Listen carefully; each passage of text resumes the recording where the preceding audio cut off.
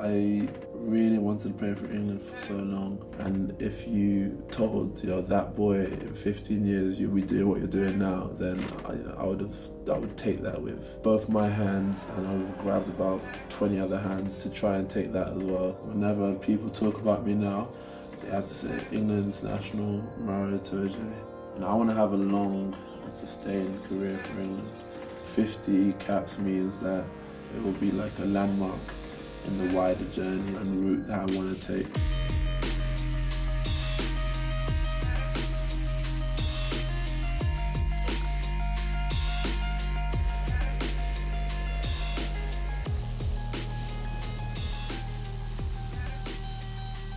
My family uh, are Nigerians. Um, both my parents were born in Nigeria. Myself, my brother, and my younger sister were born in born in London, and being Nigerian is a massive part of, of who we are. Like even though we were in North London, like when you stepped inside that house it was it was very Nigerian. Like the house is full of food and both my well, my mum loves loves cooking, I think she enjoys cooking and my dad likes eating.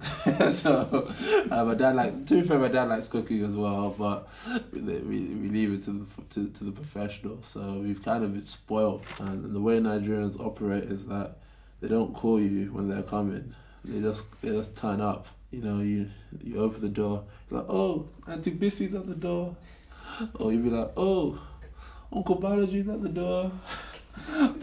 Um, the house was busy. The house was fun. It was. It was. All, it always felt as if there was something going on. I had a good relationship with both my siblings. All in all, we were, you know, good, good family unit.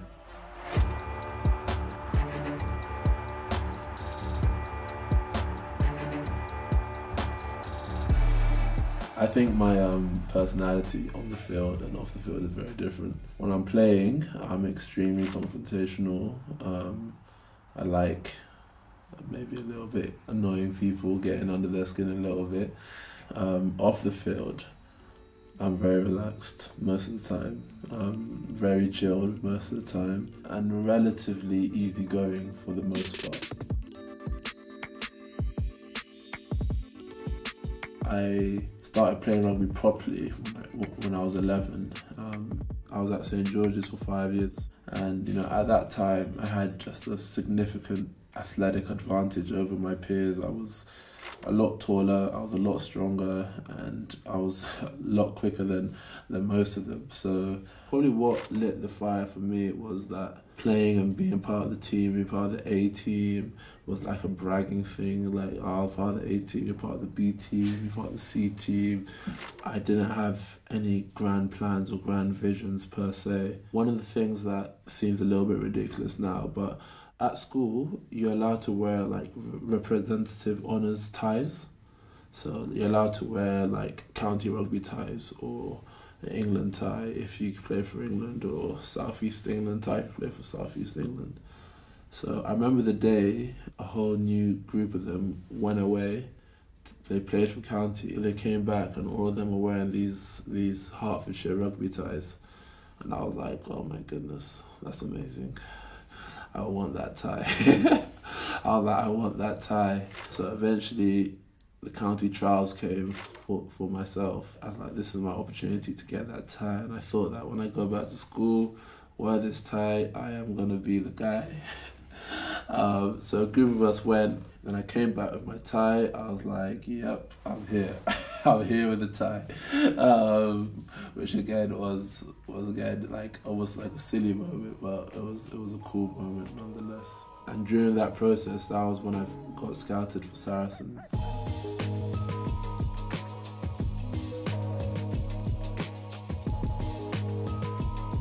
At the end of the, the trial, this guy came up to me, this like big guy came up to me. He was like, uh, um, I would like you to come to Saracens Academy training, EPDG training on Tuesday and Thursday nights. Would you be okay with that? Then I was like, yeah.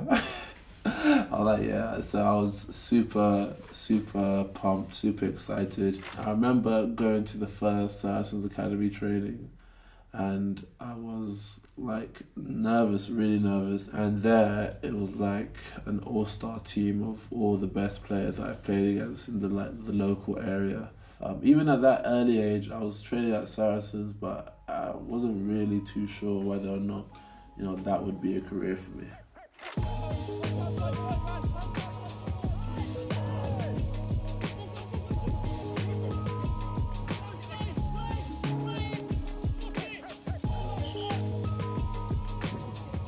my housemaster or the rugby master um, called my dad and was like, "Oh, Mr. Itoje, you know your son is your son is quite good at rugby. He's um, he might have a future there."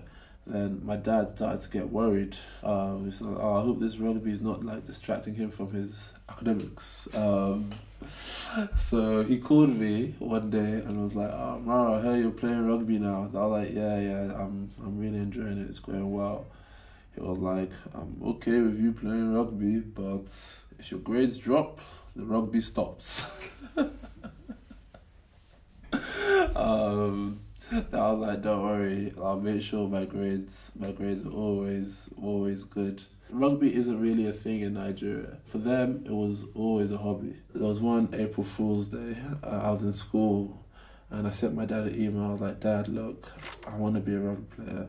I don't want you to pressure me to go to uni.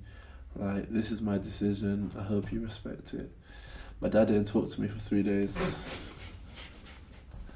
And I told my mom, so my dad called my mom, have you, have you, have you seen what your son is doing? It's your son now. Have you seen what your son is doing? Uh, he said he doesn't want to go to school.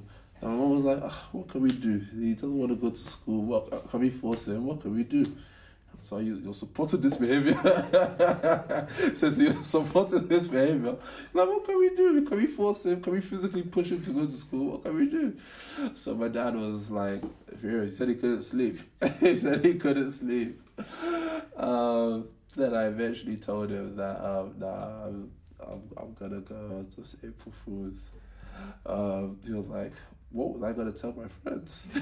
he, he would have been embarrassed. So that was my parents at the early stages of, of my career.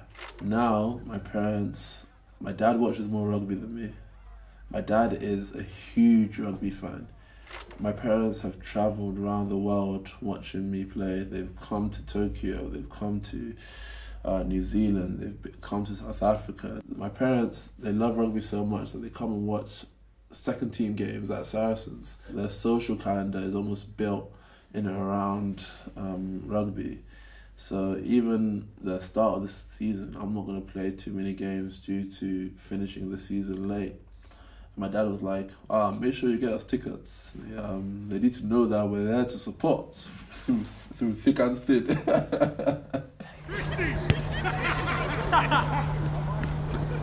I was about 16 or so, I got a call from my academy manager saying that I would like you to train with the first team tomorrow. And I was, you know, I was pumped. I was like, oh my goodness. I got, I got off the phone, I ran upstairs.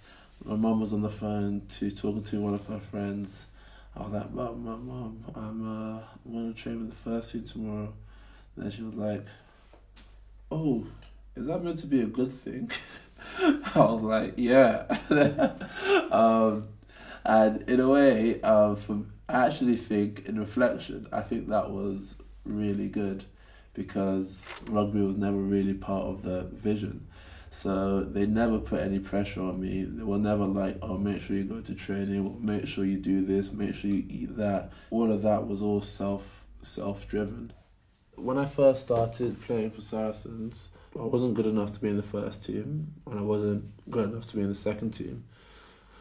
So unless you just want to keep trying to prove yourself in training, you kind of need to be in a situation where you're playing because playing is the best best way you can you know showcase talents and improve.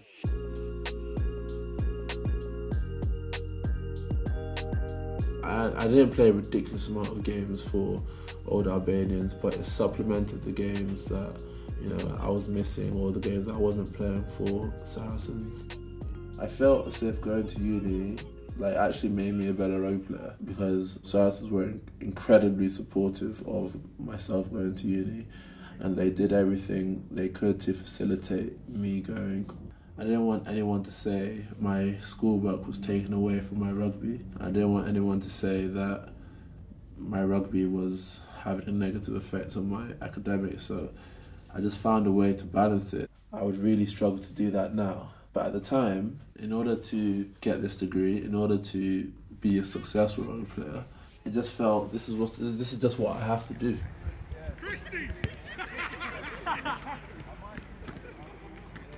So I used to wake up uh, probably sometimes around 5.50, 6 o'clock.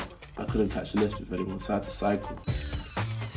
Put my backpack on, cycle my way to training.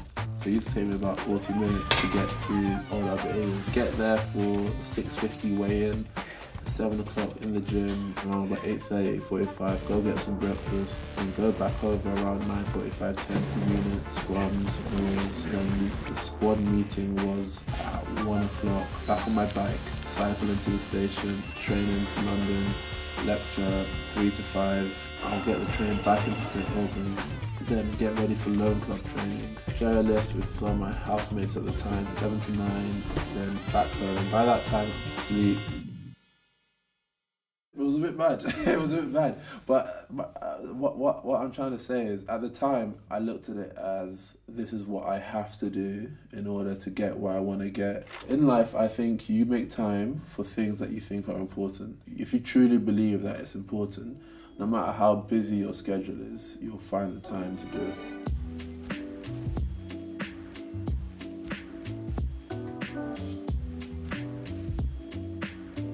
So my goal was to play for the first team and be a regular and a, and a starter in the first team. Once that was achieved, the whole change was to, you know, cement my position within this team, but then go look for international honours.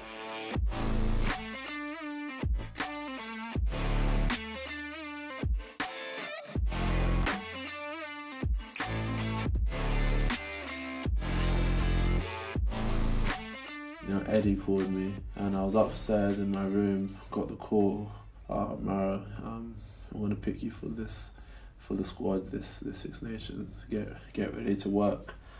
Um, and that was it. So I got in, I went downstairs, told, told my family, my, my phone went, went a little bit crazy. Um, we were, we were here.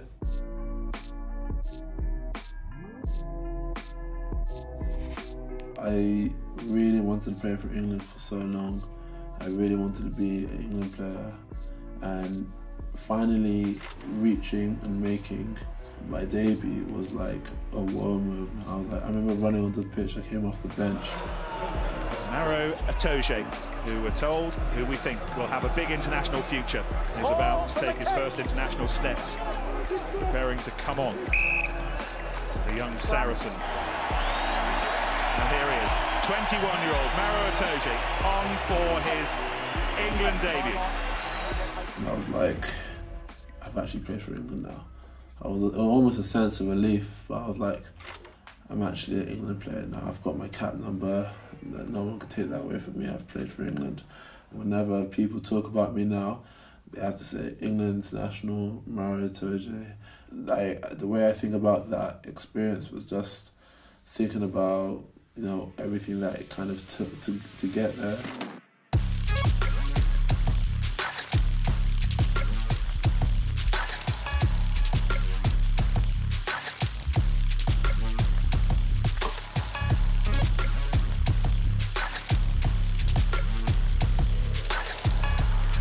To be honest, I don't know what's worse, having one cap or having no caps uh, I don't know what's worse. So at the time, it was like, okay, yeah, I'm here, but I need to get a few more caps for me to be even at least semi comfortable. Um, then I realized that comfortable kind of state of mind that you're looking for never really comes um, because there's always more that you want to do. So at the time, um, I just wanted to get as, as, as many as possible. I feel as if at that level. There's a few non-negotiables that you you know. It sounds a bit cliche and it's probably not going to surprise people, but you have to be able to like work hard, and there's different levels of working hard. All rugby players work hard to an extent, but I think there's levels of, of hard work that you need to be able to push yourself to go to go to and need to be able to deliver for your team because often rugby is such a tough sport. If you're the one who's not working quite as hard as as the others you're probably going to be vulnerable and you're probably going to open up some holes for your for, for the, for the other team to exploit. You have to be honest with yourself with your performance with how you're going about your business. And probably first and foremost you have to be committed.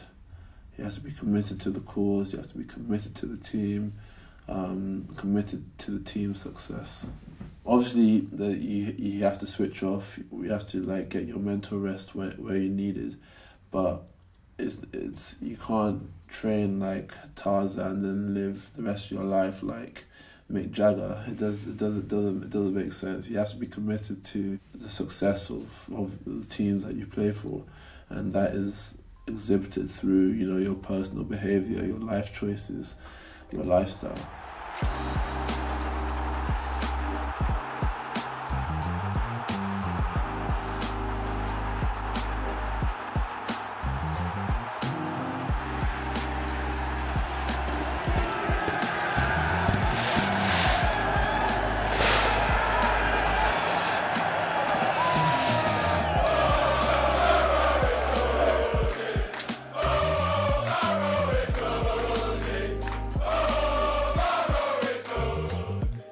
Unfortunately, I've like kind of ticked off the individual, a lot of the individual accolades. So now it's, you know, you know, I want to win for England, win Six Nations, win Test matches, win World Cups. They've got four minutes in which to do it. There goes Itoje, and he's in. And what I find with sport is that things move very quickly. Now all roads are leading to France in 2023, Paris 23. So the, the focus quickly changes. You know, I want to have a long and sustained career for England. Um, and you know, 50 caps means that you've been playing for England for a decent amount of time now. You know, it will be like a landmark in the wider journey that you know and, and route that I want to take. So, uh, of course, you know, not many people get to 50. So, as long as I put my best foot forward, I think I will. I'll sleep easy at night.